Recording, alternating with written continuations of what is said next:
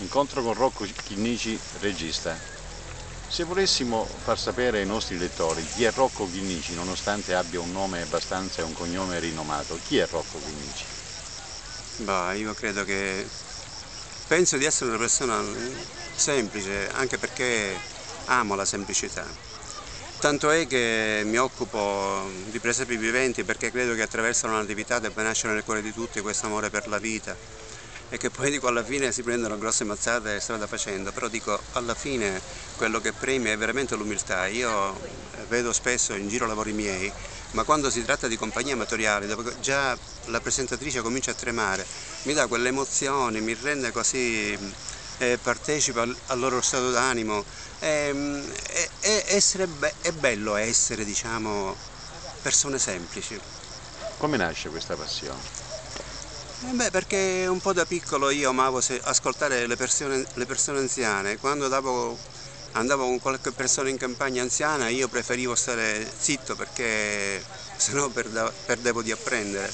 Perché quei bei racconti di una volta, quella cultura dell'ascoltare, ora invece adesso purtroppo si nasce tutti scienziati e quindi eh, bisogna, bisogna, accettare la società così per come che insomma dico sarebbe bello che rinascesse questa voglia di ascoltare. Quando si è accorto che questa era la sua strada? Ma quando mi sono incontrato col magistrato Rocco Chinnisci, così per caso, perché scrivevo delle mie poesie e lui ha voluto conoscermi e attraverso quella conoscenza mi ha un po' stimolato dicendomi ma perché non scrivi anche opere teatrali? E mi ha suggerito di scrivere un dramma sulla mafia dove le famiglie si rivoltassero contro le famiglie stesse.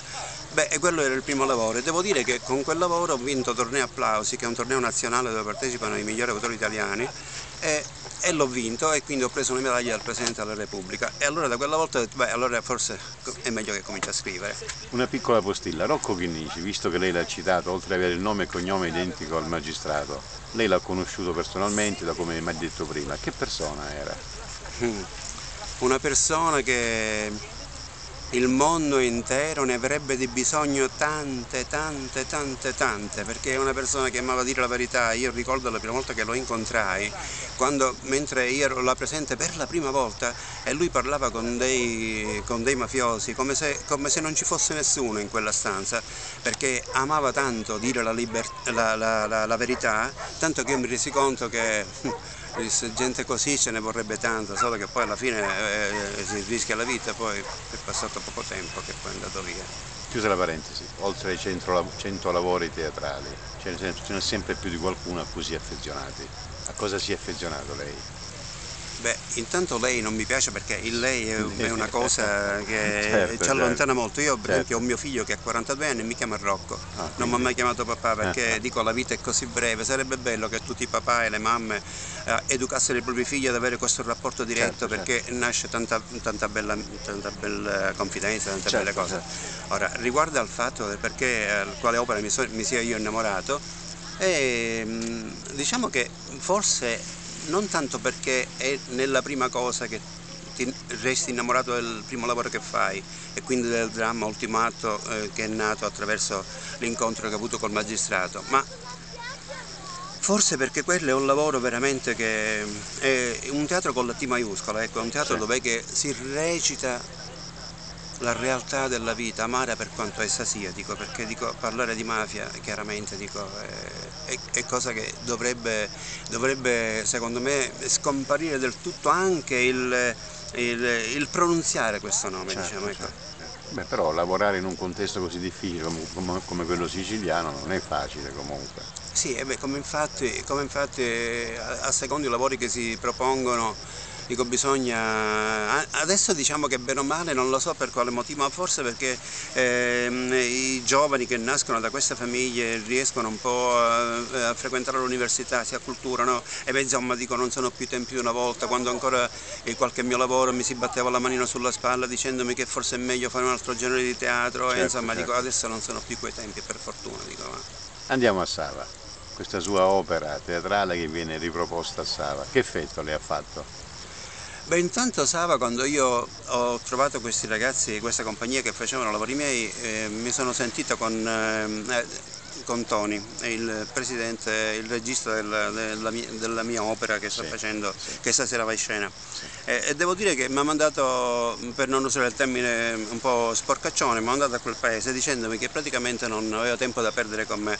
Mi ha incuriosito questo fatto perché io dico ma è la prima volta che mi capita, perché come fanno lavori miei e poi invece eh, strada facendo ho capito che praticamente si sentiva lui essere preso per i fondelli perché pensava che un autore non potesse telefonare.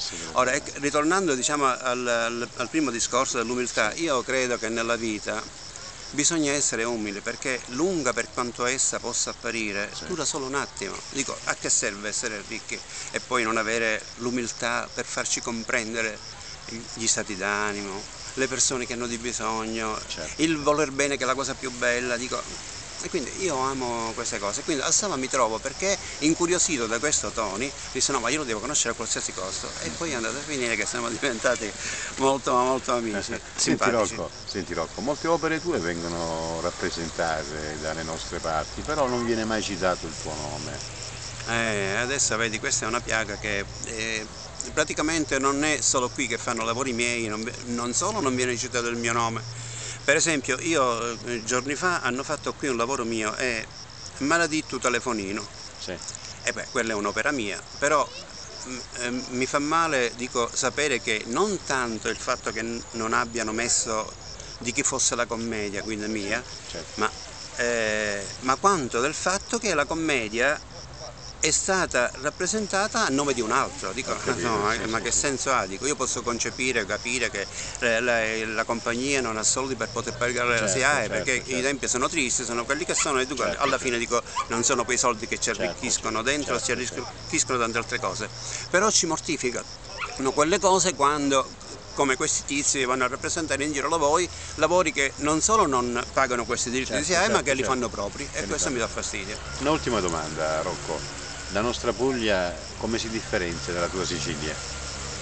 Ma devo dire che sembrano terre gemelli, perché io ho sempre, girando un po' l'Italia, ho sempre considerato che da Roma a scendere si è quasi tutti dello stesso parlare, anche perché siamo stati sempre un po' non trattati bene del, dal governo italiano, perché un po' perché ha fatto comodo che il meridione rimanesse indietro con, con, con, i tempi perché chiaramente è lì che si va a chiedere voti e quindi la gente certo, certo. dove non c'è cultura c'è ignoranza e l'ignoranza riesce ad essere eh, a disposizione di questi malandrini certo, che poi dico, sono solo dei filibustieri che poi governano.